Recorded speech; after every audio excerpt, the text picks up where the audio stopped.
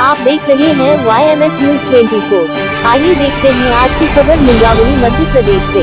Surendra Yadav Bundelkhand editor के साथ। Mungaoli PHE राज्य मंत्री राव भुजेंद्र सिंह यादव अपने निज निवास से मुंगावली।